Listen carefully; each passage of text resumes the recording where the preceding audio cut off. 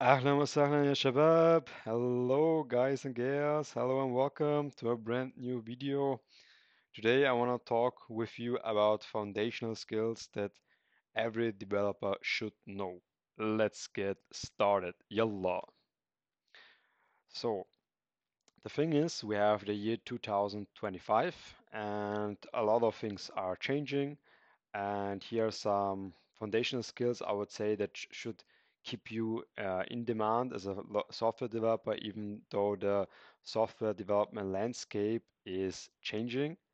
And so you, so all of you are still um, remaining important with some kind of um, foundational skills that I am here um, suggesting to you.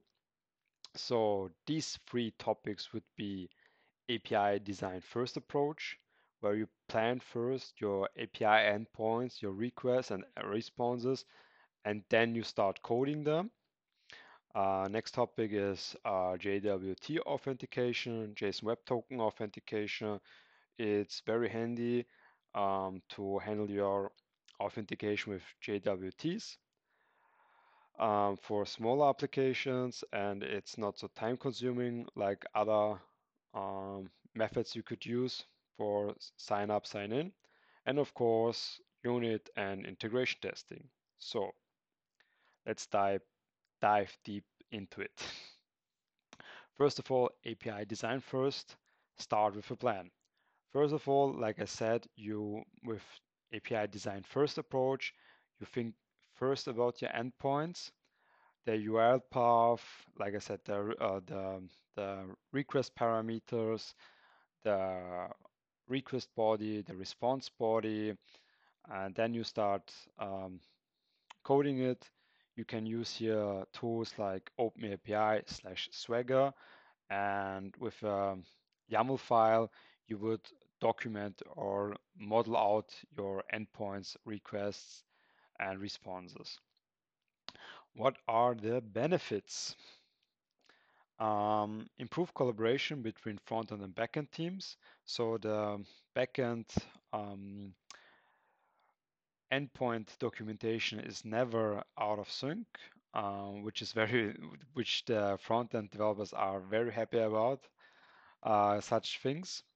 And yeah, you have a consistency across endpoints, and it makes documenting your endpoints much easier and also versioning them. So Next, next skill would be the uh, JSON Web Tokens, which are secure and stateless. Uh, JSON Web Tokens are compact URL safe tokens for authentication. Um, the, the main advantages are they're stateless, so you you are not required to store any session data on your server.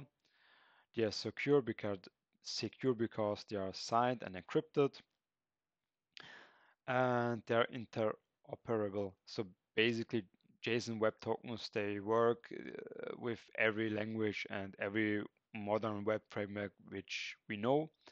And of course, they are ideal for modern uh, simple page applications and mobile apps. So yeah, for for a small web frontend, for for a smaller app, for there's no need for any complex sign up, sign in um, method. So use JWT tokens would be my suggestion here. Because for instance, Keycloak and so on are a little bit more work to implement from my personal experience. Next thing, testing, testing, testing. And testing ensures reliable and reliable, reliable and quality software. So with a unit test, you test your individual components, your methods, just a chunk of, uh, just a small piece of code. And with integration tests, you test how your uh, components interact with other components, for instance.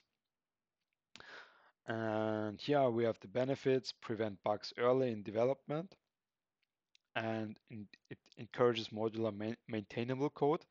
So with if you if you struggle, for instance, to write a unit test or multiple unit tests for a method, it might be because you have some kind of spaghetti code and you need to break up the methods in smaller smaller methods, one method in a smaller methods, and also maybe you've violated the single responsibility principle.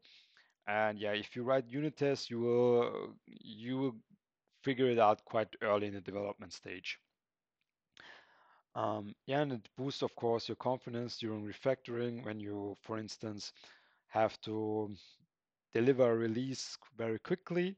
Then you can, okay, just code it, write some tests, and release your new update. And after the release phase, you have normally a refactoring phase where you uh, write again the code more maintainable. I would say also most of the time, then more readable. Uh, yeah, so it's easier to understand for other developers in your team. And if you have already tests in place, you can see, okay, uh, did I break somewhere the logic or not? And of course, unit tests and integration tests are essential for CI/CD pipelines. And yeah, it makes sure you, when you do some changes and so on and so forth, that the tests are still running. So because your testing stage should run before your build uh, phase and so on and so forth. So why should you learn these topics and why make make sense to learn these topics together? So API design first approach, like I said, it then ensures structure and usability. So you think first about your API endpoints and then start coding. As we know, sometimes thinking before something is can save you time afterwards. And yeah, uh, JSON Web Tokens, they are secure, they secure applications and manage your users in a, I would say, in a easy way. Um, the sign up, sign in uh, mechanisms, I would say, especially. And testing guarantees that you have reliability and long term stability. And of course, together they en enable robust, scalable, and secure applications. And now the last topic where you could start learning these topics, you could go on the official OpenAPI site and dive into there um, the, the API design first approach. Same with JSON Web Tokens. There are a lot of uh, um, tutorials on the web when you Google it or go on another search engine or go on YouTube for some tutorials for testing. If you like me and you use um, uh, uh, Spring Boot with Kotlin, and yeah, then there's also quite good documentation online with JUnit, Mockito, and the Spring tests for the integration tests. Or what you also could do, you could build a real life application.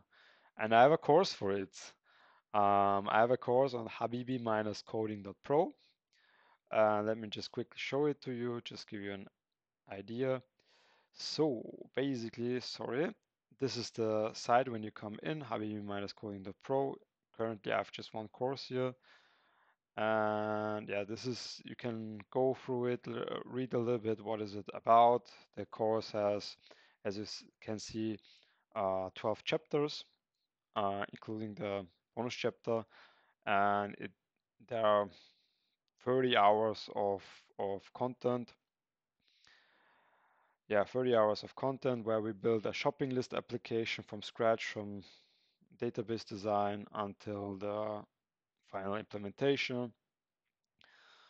Uh, testing it together with Postman, you can yeah read everything what you want to know here about it, or you can just sign up for free and just go through the free previews. And yes, this was just an idea for what you could do or how you can get started with these topics. I hope you liked this video. And yeah, don't forget to like and subscribe if you liked it or drop me a comment. What should I do next? And see you in the next video. إلى اللقاء يا شباب.